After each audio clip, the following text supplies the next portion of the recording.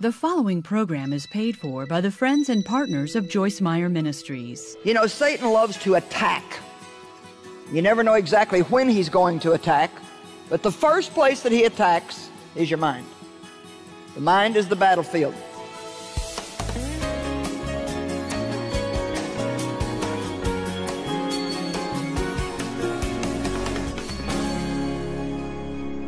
Have you ever had one of those days where you just didn't know what in the world was wrong with you, but you just had some of the most stinking thinking about people? And it, it's just like, why am I even thinking that? But your thinking is just off. And then, you know, you begin to get irritated with the people, and you're like, what is wrong with me? You know, Satan loves to attack. You never know exactly when he's going to attack, but the first place that he attacks is your mind. The mind is the battlefield. You have to really pay attention to what you're thinking. You have to think about what you're thinking about because if you don't choose your thinking, if you become passive, you're just kind of empty headed, the devil will be happy to fill your mind with stuff that is going to poison your spiritual life. More than anything, people buy my book, Battlefield of the Mind, more than any of the other books we have, which only proves to me that people have lots of problems with their mind. So we know that Satan's a liar and that he uses thoughts, wrong thoughts, to try to bring destruction into our life. We know that he is a destroyer and that the weapon he uses is suffering. We taught about that this morning. That Satan wants to destroy lots of things, but mainly he wants to destroy our faith. And he uses suffering to do that whether it's suffering from rejection or suffering from abuse when you were a child or suffering from peer pressure or suffering, he'll attack your body if he can. That's why it's important to be in as good a health as you can possibly be. So when things try to attack your body, you've got a good, strong immune system to fight those things off. We are so bad at not doing what's right until we have an emergency. And we need to get beyond that and start really doing the thing that's right all the way along. So, Satan wants to rule us. His target is our will. We, have, we are spirits, we have a soul, we live in a body. You're a tripart being. Think with me for a minute. You have a spirit, that's where the Holy Spirit lives. That's where you get revelation from God. That's where you have intuition. You have a conscience in there that tells you right from wrong. That's where you fellowship with God. That's where you communicate with God. But you have a soul. Your soul is your mind, your will, and your emotions. It's your personality. You have a body.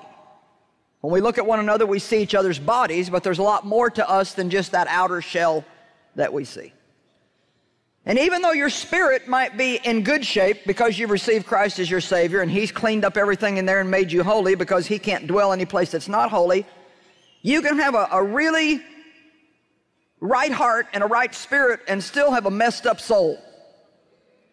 You can still have a messed up mind.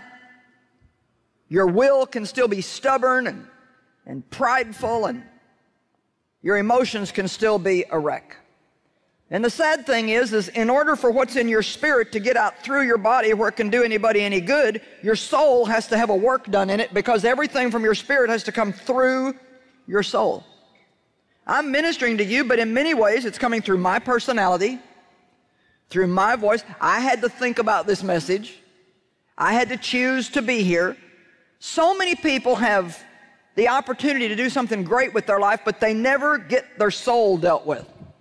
In Hebrews 4, it says, only the Word of God can divide soul and spirit. Why is it important for you to learn how to divide soul and spirit? Simply because your soul doesn't tell you anything about God. It only tells you about you. Your soul doesn't tell you what God thinks, it tells you what you think. It doesn't tell you what God feels, it tells you what you feel. And it doesn't tell you what God wants, it tells you what you want. If we want to know what God wants, thinks, and feels, then we've got to let this Word of God be the number one thing in our life that guides us. It's greater than what I think or what you think. It's greater than what I reason out or understand or don't understand.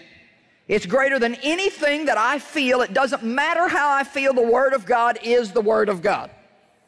I don't feel God loves me, well, He does. I don't feel that I've got a future. Well, you do. I don't feel like I'll ever be able to get over my past. Well, you can. And more than anything, people talk about how they feel. I wonder sometimes if we're serving the God of our feelings or the God of the Bible. I feel, I feel, and I don't feel, and I don't feel. We have to understand the importance of honoring and respecting the Word of God above what we think, what we want, and what we feel. I'm frequently asked how I feel about things like traveling. Joyce, how do you feel about traveling all the time? Well, the only way I can do it is because I don't ask myself how I feel.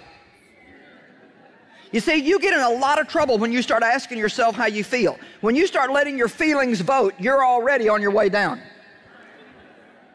Satan will use your feelings to control you, to keep you out of the will of God. I was going to Papua New Guinea several months ago.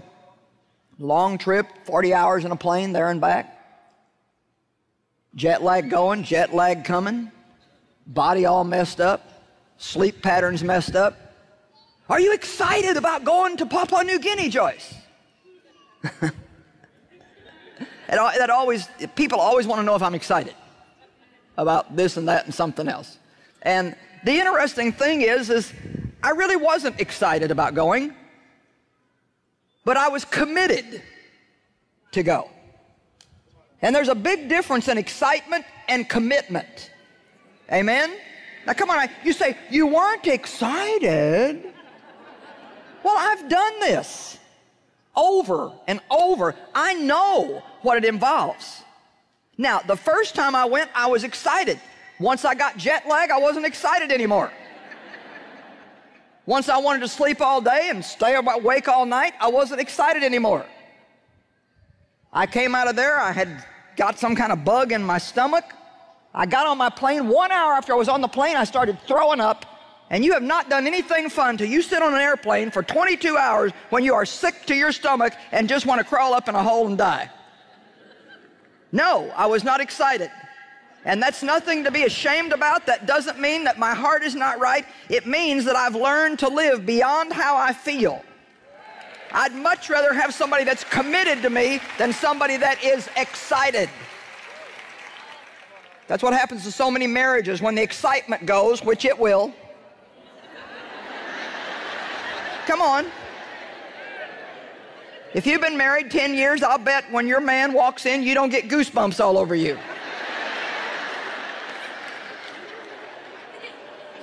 But hopefully and prayerfully, it grows beyond that to something much deeper and much more serious Dave and I have been married 42 and a half years, and I can tell you that we are committed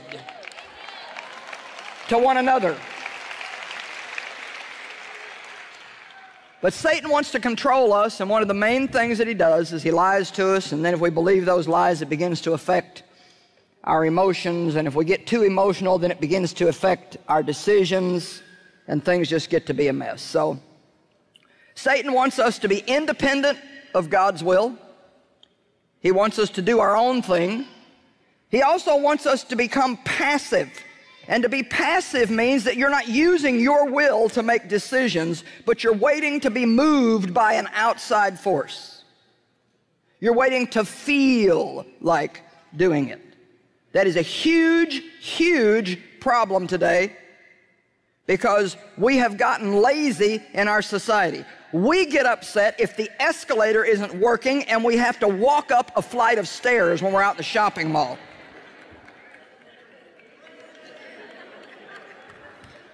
We get impatient if our internet hookup takes 45 seconds instead of 10 seconds to hook us up. We get angry if our cell phone with its iPod and it's where you can communicate around the world. I mean, I sit and talk to my son when he's in Indonesia and Africa and India, and we're just going back and forth just like this. But boy, you let that thing not work once. So we're kind of addicted to convenience.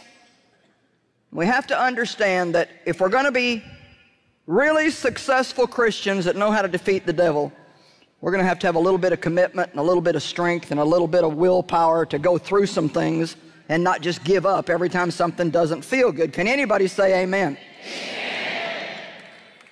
The Christian must not be emotional. now, I didn't say that you can't have emotions, you can enjoy emotions. We saw our emotions being displayed tonight as we were worshiping God, and to be honest, that's one of the best places to use them. A lot of people say, well, I just don't want to get involved in all that religious emotionalism, but that same person will act like a fool at a football game. Amen. But to be emotional means that you are led by those feelings. I can't help how I feel a lot of times, and you can't either. Emotions are not going to go away, but we must learn how to manage them and not let them manage us. You have made great progress when you can feel all the wrong things and still choose by using your will to do the right thing. Let me tell you something. That is victory and that is power. Power over Satan doesn't mean that we have this authority that can keep him at bay to where he can never attack us, never lie to us, never come against us. The power that we have is when he is attacking us, we don't have to act like him.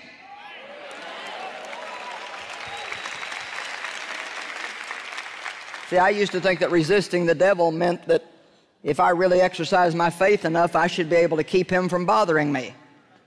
And God said, No, when he bothers you, I've given you power not to act like him.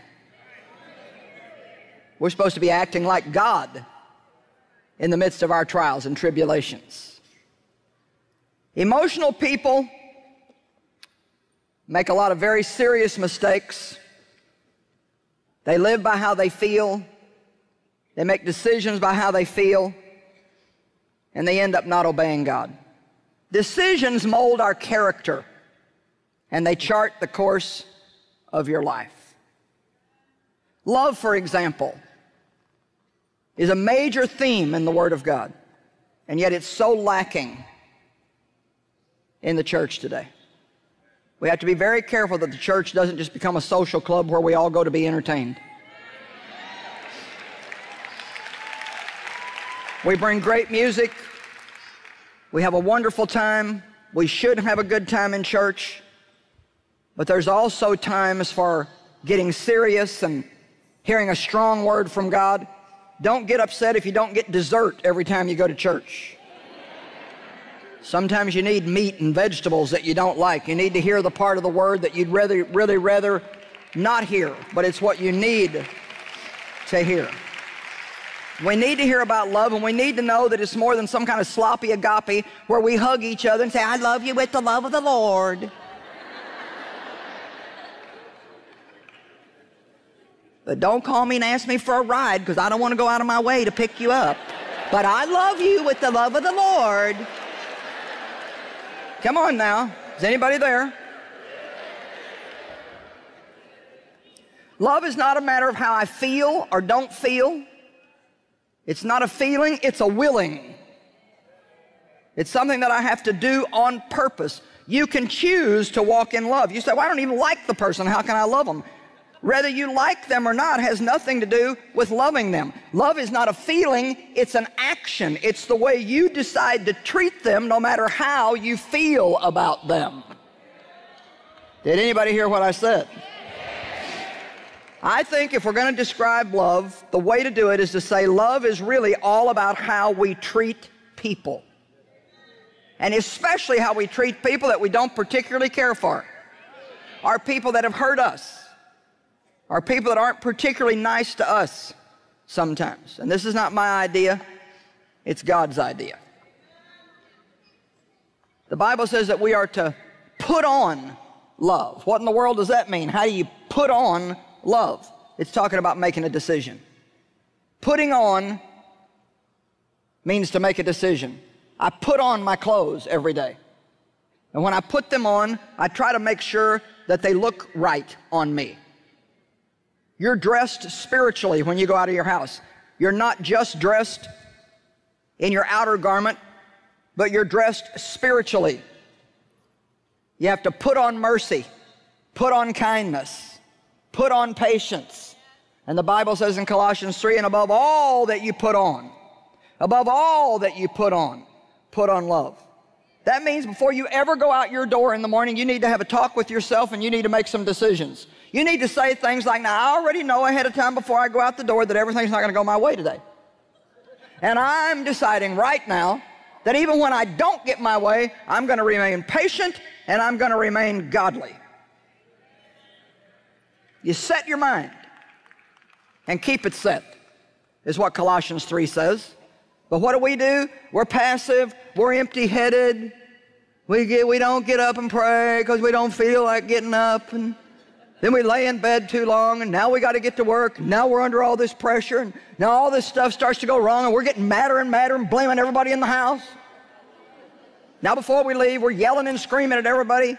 Then we get out in traffic, and traffic is not right, and we're giving all kinds of hand signals to the other people in the cars. I had one of those yesterday right here in Atlanta. Woo, man.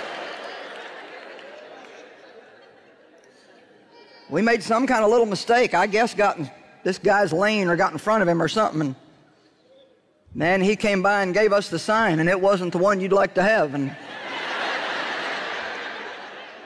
I've learned. Hey, I've learned. He ain't getting my joy. No.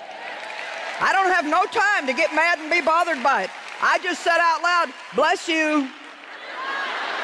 Bless you. Have a nice day. Bless you. You know what? I've come to the point where I feel sorry for people that they have to get that upset because somebody actually dared to accidentally make a mistake and get in their way just a little bit. But I tell you what, the world out there is explosive.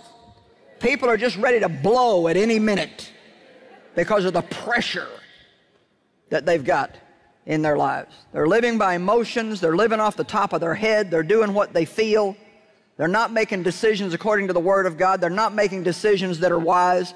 People go out and buy things impulsively, and then they got all this pressure from debt, and now they're mad at everybody and mad at their boss because he don't pay them enough, and now it's his fault that you got financial pressure.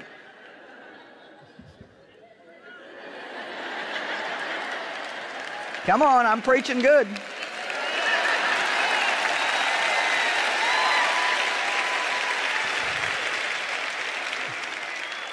It's not your boss's responsibility to overpay you for doing your job because you got out and got in the flesh and charged everything you could charge. It's our responsibility to live within our means and learn how to wait on some things and to realize we don't have to have everything and not flip plastic everywhere we go, but be willing to either do without some things that we can do without and save money to pay cash for them. Come on now, I'm preaching good.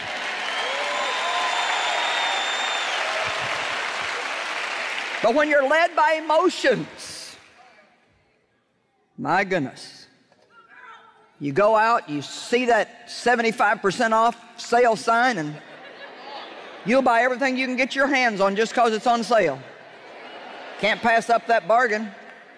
I tell a story about a woman whose husband said, Honey, you've got to stop shopping. We've got to get out of debt. She, he made her promise. She promised that she would not go out and buy any more clothes. She went to the mall to pick up something that she had to, to have that she had ordered. And while she was there, she saw this pretty dress that was on sale. And so she went into the store just to try it on, just to see what it looked like.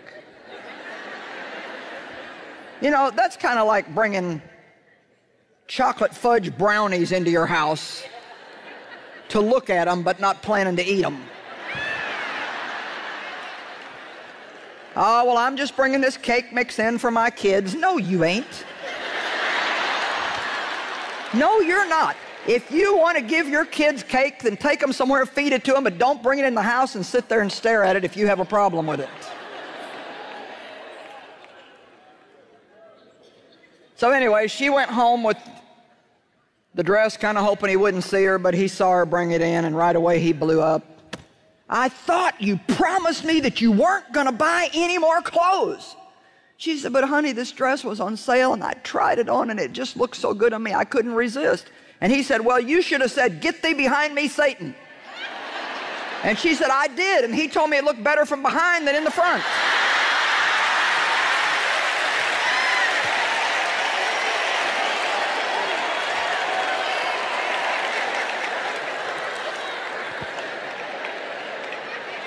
Amen?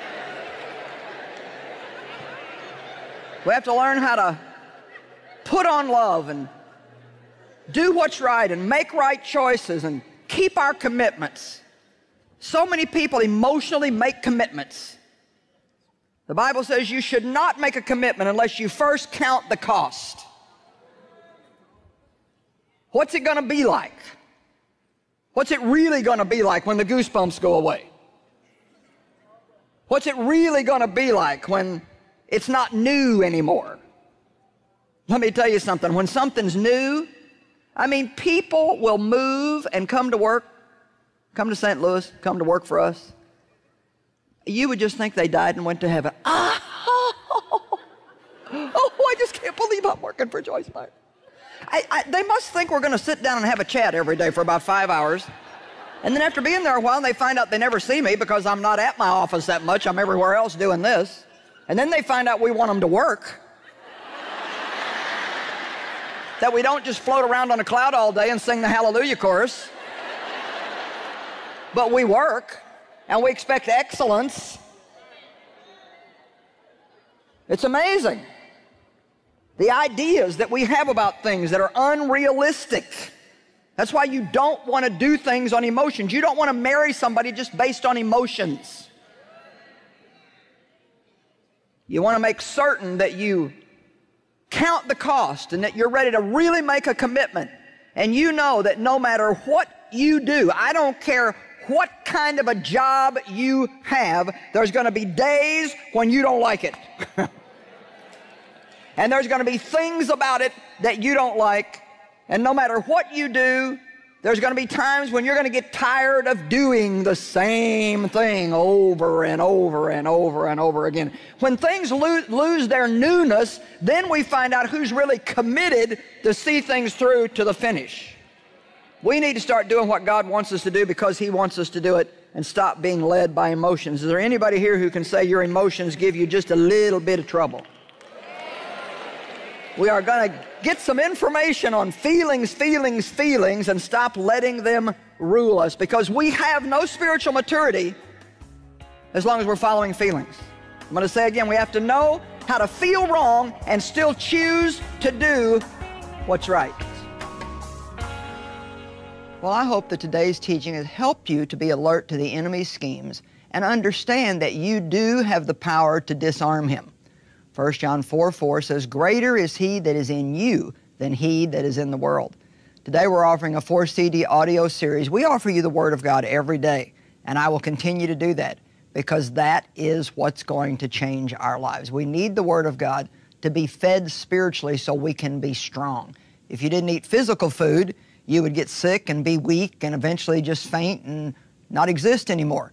And we have to make sure that we feed on the Word of God and time in the presence of God so we can be strong spiritually.